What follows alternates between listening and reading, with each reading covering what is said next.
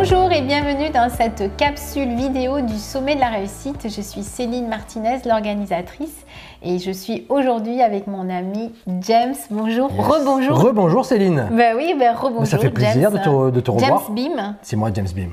Pas James Beams, mais James Beam. Donc, euh, ben, rebonjour James. Rebonjour Céline. On vient de terminer euh, la super interview. Mm. Euh, Merci. oui, et en plus c'est une interview exclusive. Exactement. Réservé exprès pour le sommet de la réussite. Oui, tout à fait, parce que le sujet que tu as évoqué, Mhm. qui sont euh, les trois activateurs qui nous détournent de ce qui est important pour nous Mhm. et qui nous empêchent de réussir. Exact. exact. Donc ça, c'est un sujet euh, que tu as, enfin c'est ce qui est issu de tes constatations Exactement. de vie personnelle et vie professionnelle en Exact, tant que en tant que coach, puisque ouais. tu es coach, conférencier, formateur. Ouais. Et euh, donc tu, tu as, tu as des choses voilà, qui, te sont, qui te Apparues. sont apparues sur des choses qui nous empêchent et nous limitent de- de- Exactement. dans notre vie et donc nous empêchent de réussir. Donc c'est qui sont réunis euh, sous, sous trois activateurs Exact. qui sont des mécanismes euh, internes inconscients. Complètement. Et euh, donc, tu as mis de la lumière là-dessus. Et euh, pour l'instant, tu n'en avais, tu n'en as jamais parlé. Jamais, officiellement, jamais, dans le détail. Dans le détail, non. J'ai jamais donné les trois activateurs. Donc, Jamais. si vous voulez savoir quels sont ces trois activateurs, il faut vous inscrire pour regarder l'interview de James. Exactement. Qui ça, ça peut changer votre vie vraiment. Oui, Vraiment. et qui est vraiment, vraiment passionnante. Merci. Et par rapport à tout ce qu'on a évoqué déjà, j'ai une question supplémentaire qui est en avec plaisir. lien avec euh, cette histoire d'activateur. Mhm.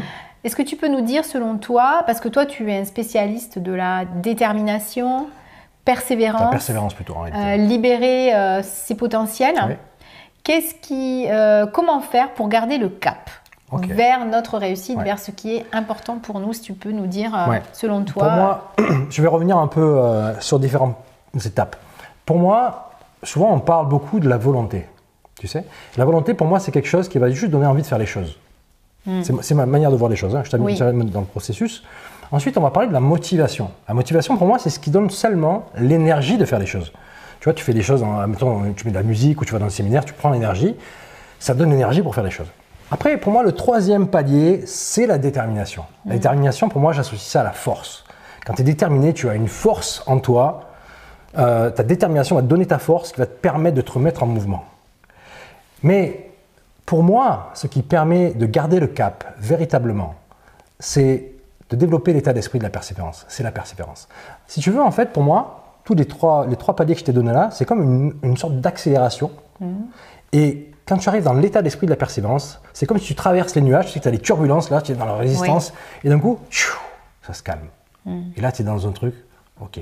Tu te retrouves dans une, attitude interne où tu es distant, calme et aligné. Et c'est ça qu'il faut trouver et obtenir pour vraiment être, pour vraiment développer en soi la certitude et pouvoir aller au bout des choses. Ce n'est pas dans la volonté, ce n'est pas dans la motivation, en tout cas dans ma vision des choses, ce n'est pas seulement de la détermination. C'est parce que là, quand tu es dans cet état d'esprit, tout ce qui va se passer autour de toi, quoi qu'il arrive, tu vas jamais te détourner, tu vois.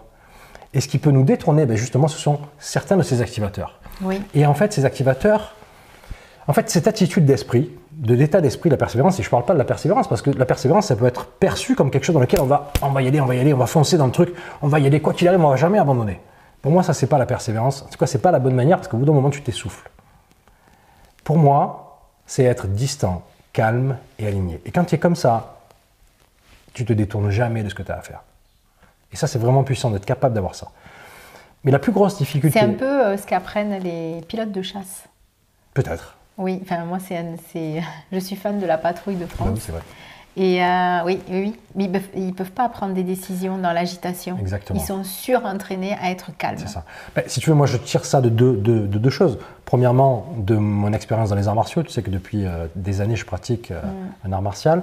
Et puis mon expérience dans la police. Tu peux dire que tu es, je ne sais combien. Maître instructeur de 15e dan de ninjutsu. Alors je n'arrive jamais à dire, donc je te ninjutsu. Ninjutsu. Nin- Ninjutsu. Vous connaissez les ninjas? Eh bien, je suis un vrai ninja. Voilà.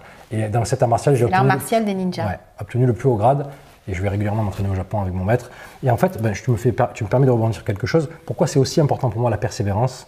Parce qu'en fait, nin de ninja, en fait, ça vient de la- de- de l'association entre kokoro, qui est le cœur, et l'épée. C'est-à-dire qu'en fait, cette notion-là, c'est la persévérance. Les ninjas développent l'état d'esprit de la persévérance et la persévérance. Et donc, il y a une notion de cœur importante là-dedans. Et donc, quand tu es apaisé, distant, calme et aligné, eh bien, effectivement, tu es capable euh, d'aller au bout des choses. Sans- Et tu ne trembles pas, et tu ne détournes pas. Ouais. Qu'est-ce qui va te détourner en fait? C'est bon, soit ton environnement, les personnes autour de toi, mais c'est peut être aussi ben, justement ces activateurs qui vont t'obliger à regarder à côté. Tu vas regarder à côté, tu te détournes de là. Tu, te, tu vois, tu fais comme si tu allais sur. On en parle d'ailleurs dans l'interview, mais c'est un peu cette notion de tu es sur un, bateau et puis du coup tu, vas- tu vas tu vas t'échouer sur un truc et tu vas repartir, tu vois, au lieu d'aller droit au but. Et puis tu peux même te perdre, tu vois, Ouais. en faisant ça. Se, peux- dé- se dérouter. se dérouter, exactement. Complètement. Alors que pour garder le cap, il faut développer cet état d'esprit de sérénité, de distance. Et donc, supprimer en nous les parties de nous. Pour moi, la définition de l'alignement, c'est, en fait, c'est faire grandir nos valeurs, se connecter à ce qui est vraiment important pour nous, au fond de nous, au fond de notre cœur, mais vraiment en profondeur, pour vraiment prendre une, une sorte d'inspiration comme ça, presque divine, tu vois, qui fait que, ah ouais, je là, je suis à ma place, tu vois. Quand tu es connecté à tes valeurs, c'est ce que tu ressens.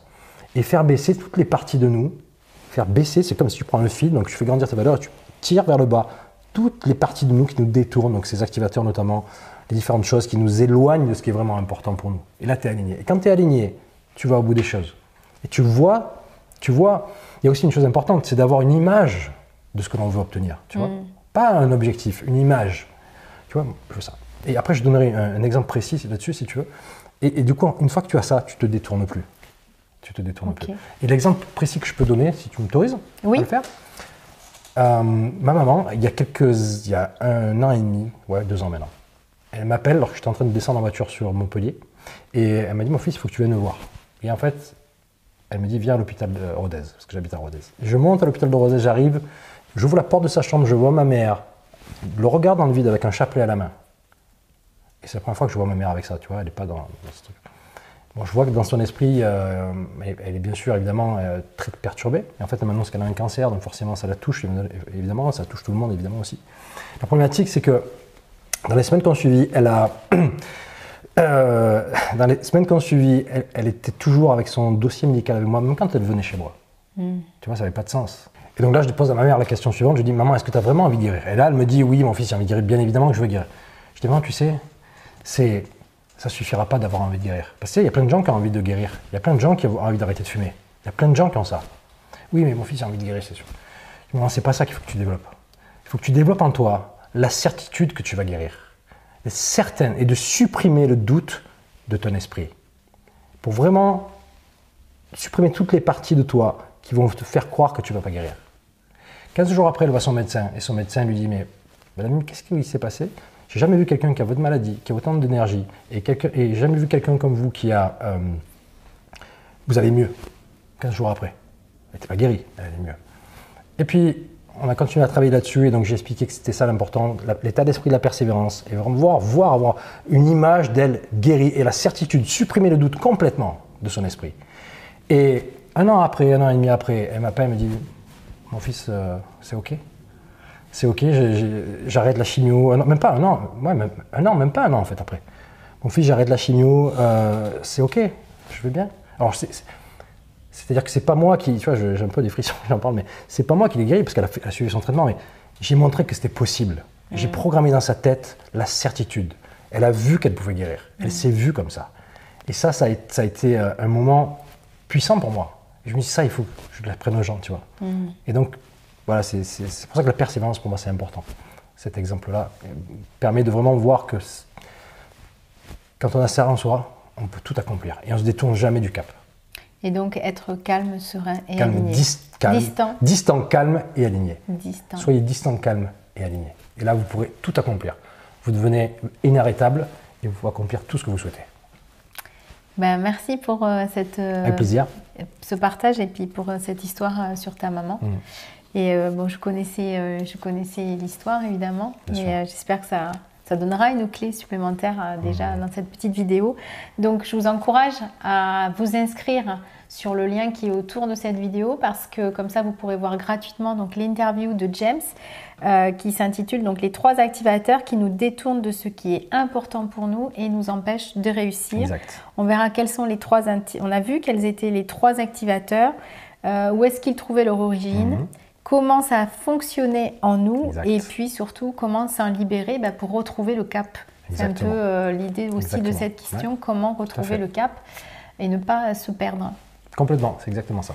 Donc euh, bah voilà, on vous attend de l'autre côté. Inscrivez-vous, c'est gratuit. Partagez cette vidéo si ça, si ça vous a parlé. Mm. Taguez des amis. Inscrivez-vous en masse, que l'on fasse une belle fête autour de ce sommet de, la réussite. Parce qu'il y a vraiment plein, plein, plein de belles personnes euh, comme James, des personnes que j'ai choisies avec le cœur. Merci. Et euh, avec lesquels on a évoqué des sujets vraiment passionnants qui vont vous aider à, avoir une plus grande connaissance de vous-même, qui vont mettre de la lumière sur des choses euh, douloureuses, des choses qui vous mmh. challenge et qui vont vous permettre bah, de vous rapprocher d'une vie qui vous ressemble, qui vont vous rapprocher de votre réussite. Donc on vous attend impatiemment de l'autre côté. Exactement. Et eh ben merci beaucoup merci James. À toi, C'était un vrai plaisir euh, de faire, partager ce moment avec mmh, toi. Merci. Voilà, merci beaucoup. Merci à vous. À très bientôt. Prenez soin de vous. On vous attend de l'autre côté. bye. bye.